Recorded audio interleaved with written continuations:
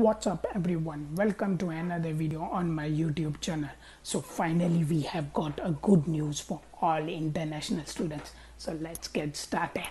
Remember on july 6 2020 the trump administration has signed an executive order stating that if your school or your university is going to teach you online in fall 2020 then you are forced to leave the united states. This situation made many of students freaked out and stressed as what to do and what not to do. So finally we have a good news for all of them that Trump administration has backed out that rule. This rule was backed out because Harvard, MIT and 30 other universities have sued the Trump administration there are around eight lawsuits which are going on due to which the Trump administration decided to back out this rule.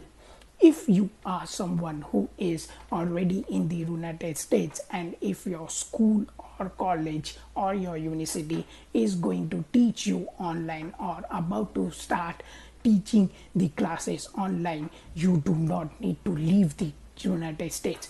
You do not need to do a transfer to another school or university. You can stay safe and be happy in united states.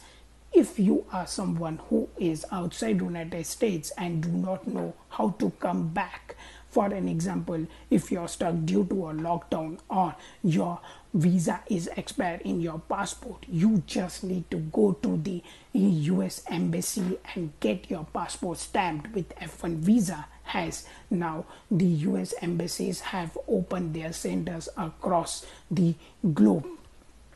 If hope you have enjoyed this video. I am very happy for all our international students. Hope this is really a sigh of relief for all of them. Kindly like comment and subscribe to my channel. Until then see you. Keep smiling keep le learning keep hustling. Take care